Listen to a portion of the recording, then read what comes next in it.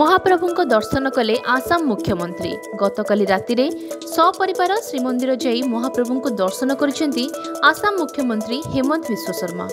କଡ଼ା ସୁରକ୍ଷା ମଧ୍ୟରେ ସିଂହଦ୍ୱାରରେ ପହଞ୍ଚିବା ପରେ ଜିଲ୍ଲା ପ୍ରଶାସନ ତରଫରୁ ସ୍ୱାଗତ କରାଯାଇଥିଲା। ପୁରୀ ବିଧାୟକ ଜୟନ୍ତ ଷଡ଼ଙ୍ଗୀ ଖଣ୍ଡୁଆ ଦେଇ ସ୍ୱାଗତ କରିଥିଲେ।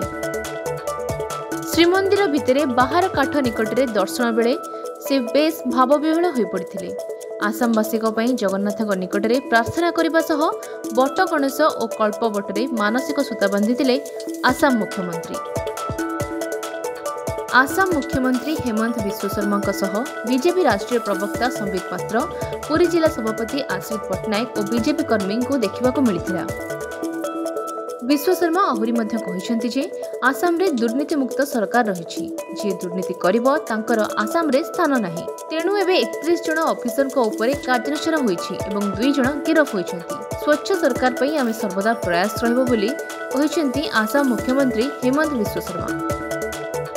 ତେବେ ହେମନ୍ତ ବିଶ୍ୱ ଶର୍ମା ଆଗରୁ ଶ୍ରୀଜୀଉଙ୍କ ଦର୍ଶନ ପାଇଁ ଆସିଥିଲେ ହେଲେ ଆଜି ମୁଖ୍ୟମନ୍ତ୍ରୀ ଭାବେ ସପରିବାର ଆସି ଦର୍ଶନ କରି ମହାପ୍ରଭୁଙ୍କ ଆଶୀର୍ବାଦ ନେବା ଓ ଆସାମବାସୀଙ୍କ ପାଇଁ ଶ୍ରୀକ୍ଷେତ୍ରରେ ଏକ ଯାତ୍ରୀ ନିବାସ ପାଇଁ ରାଜ୍ୟ ସରକାରଙ୍କୁ ଚିଠି ଲେଖିବେ ବୋଲି କହିଛନ୍ତି ଆସାମ କୌଳିକ ପଣ୍ଡା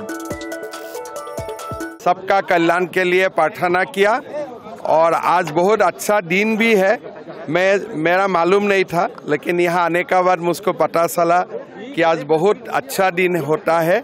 तो ये दिन में मुझको दर्शन करने का सौभाग्य मिला। मन अच्छा हो गया। नहीं, व्यवस्था अच्छा है, मंदिर है और आज इतना लोग है।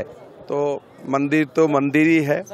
अभी ये तीन साल में मैंने साढ़े तीन सौ ऑफिसर्स को पैसा लेते हुए रंगा हाथ पकड़ के जेल में डाला हूँ।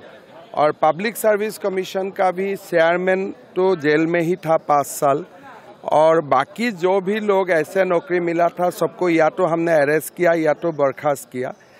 और आ, सारे सिस्टम हम लोग डिजिटलाइज कर दिया हूँ कि कम से कम लोगों का इंटरफेस हो सरकारी अधिकारियों से। तो अभी ठीक ठाक चल रहा है और सब अच्छा है। भगवान सबको अच्छा करे यही ठीक। बहुत थर हेमंत विश्व शर्मा जो आज मुख्यमंत्री अच्छा छात्र जीवन रू जो छात्र नेता थे ସେତେ ସେହି ସମୟରୁ ମଧ୍ୟ ମୁଁ ତାଙ୍କ ସାଙ୍ଗରେ ଦର୍ଶନ କରିବାର ତାଙ୍କୁ ସୁଯୋଗ ମୁଁ ପାଇଥିଲି ପାଇଛି ଏବଂ ଅନେକ ସମୟରେ ମଧ୍ୟ ଆସି ଆମର ସେ ଆମ ଘରେ ମଧ୍ୟ ରହନ୍ତି ଆମର ଡେରାରେ ରହନ୍ତି। ଏବଂ ଆଜି ମହାକାର୍ତ୍ତିକ ମାସର ପଞ୍ଚୁକ ଭିତରେ ସେ ଦର୍ଶନ କରିବାର ଯେଉଁ ଇଚ୍ଛା ପ୍ରକାଶ କରିଥିଲେ ମୁଁ ଯେତେ ମନା କରିଲେ ମଧ୍ୟ ଆଜ୍ଞା ଗହଳି ଅଛି ଆପଣ ଆସନ୍ତୁ ନାହିଁ। କିନ୍ତୁ ସିଏ କହିଲେ ଯେ ଦେଖ ଶେଷ ମୁଁ ଯେମିତି ହେଲେ ଆଜି ଗୋଟେ ଦର୍ଶନ କରିବି ମୋର ବହୁତ ଦିନର ଇଚ୍ଛା ଥିଲା। ଆପଣମାନେ ଜାଣିଥିବେ ପ୍ରତ୍ୟେକ ଜିନିଷରେ ସେ ଅବଗତ ଅଛନ୍ତି। ଆପଣ ଦେଖିବେ ଯେ ଆପଣ ଯେଉଁ ଆମର ଯେଉଁ ଇଏ ଆମର ବନ୍ଧାଯାଏ ଆମର ପତାକା ବନ୍ଧିବାଠୁ ଆରମ୍ଭ କରି ଆମର ଯେଉଁ ଆମର କଳ୍ପବୃକ୍ଷରେ ମଧ୍ୟ ସେ ମଧ୍ୟ ସେଠିକି ଯାଇ ସେଇ ଜିନିଷ ସବୁ କଲେ। କିନ୍ତୁ ବିଶେଷ ଭାବରେ ଯେଉଁ ଆମର ଯେଉଁ ଆସାମ ଯାତ୍ରୀ ନିବାସ ଥିଲା ପଶ୍ଚିମ ଦ୍ୱାରରେ ସେଇ ବିଷୟରେ ମଧ୍ୟ ସେ ପଚାରିଲେ ତୋର ସେଠି ଉଠିଗଲାଣି ମୋର ଯାତ୍ରୀମାନେ?